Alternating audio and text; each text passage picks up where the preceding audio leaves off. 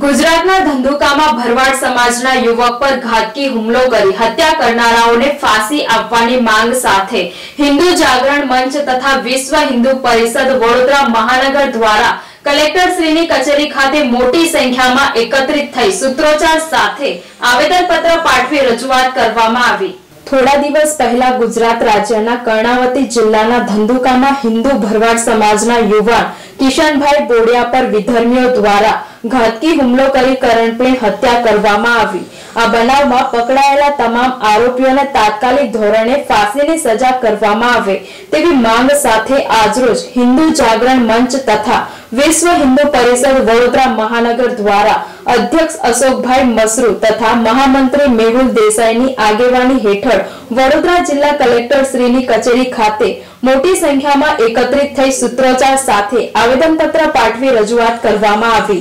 આજ રોજ વિશ્વ હિન્દુ પરિષદ બજરંગ દળ વડોદરા મહાનગર કલેક્ટરશ્રીને આવેદનપત્ર આપવા આવ્યા છે કે જે પ્રકારે ધંધુકાની અંદર કિશનભાઈ ભરવાડની નિર્મમ હત્યા વિધર્મીઓ દ્વારા કરવામાં આવી, એ એક જઘન્ય કૃત્ય હતું અને આની અંદર આ ઈરાદાપૂર્વક અને પ્લાનિંગ સાથે આ કૃત્ય કરવામાં આવ્યું છે. જેની અંદર મસ્જિદોના મૌલવીઓ, મદ્રસાઓ જે ઇન્વોલ્વ છે, જેના તાર અમદાવાદ અને દિલ્હી સુધી દેખાઈ આવ્યા છે. તો આની અંદર જેટલા બી દોષી હોય, મૌલવી હોય, ગમે તે હોય, એને ફાસ્ટ ટ્રેક કોર્ટની મદદથી ફાંસી આપવામાં આવે એવી વિશ્વ હિન્દુ પરિષદ ડિમાન્ડ કરે છે. આ એક માનસિકતા જે મદ્રસાઓની અંદર નાનપણથી ઇસ્લામ ધર્મની અંદર કરવામાં આવે છે, એનું પરિણામ છે. અને એટલા જ માટે વિશ્વ હિન્દુ પરિષદ માંગણી કરે છે કે આ મદ્રસા ઉપર પ્રતિબંધ મૂકી અને ભારત દેશમાં દરેક ધર્મના બાળકો જે સ્કૂલોમાં ભણે છે, એવા કોમન સ્કૂલોની અંદર જ ભણવા જોઈએ, એ વિશ્વ પરિષદ માંગણી કરે છે.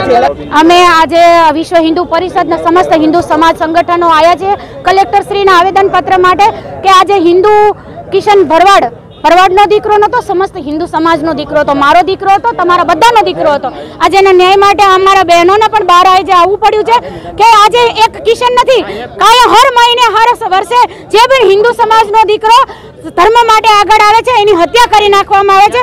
હિન્દુ દીકરીઓને ફસાવે છે, ભોળવાવે છે પ્રેમ જાળમાં ફસાવી, લવ જિહાદમાં ફસાવે. આજે રાધનપુરમાં પણ હિન્દુ દીકરીનું ગળું ખુલ્લે આમ ઘરમાં જઈને વિધર્મીએ કાપી નાખ્યું છે. તો અમે ન્યાય માટે આવીએ છીએ કે હિન્દુ ક્યાં સેફ છે?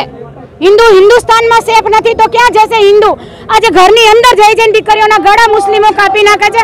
કાલે કહેશે કે મંદિરે જશો તો મારી નાખીશું. તો શું અમે મંદિરે નહીં જઈ શકીએ.